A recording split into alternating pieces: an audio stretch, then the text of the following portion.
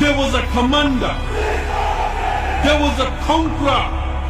He crushed the superpowers of his time. He crushed the Persian Empire. He crushed the Romans. He conquered Iraq. He conquered Iran. He conquered Armenia. He conquered Jordan. He conquered Syria. The undefeated commander. The undefeated ruler. The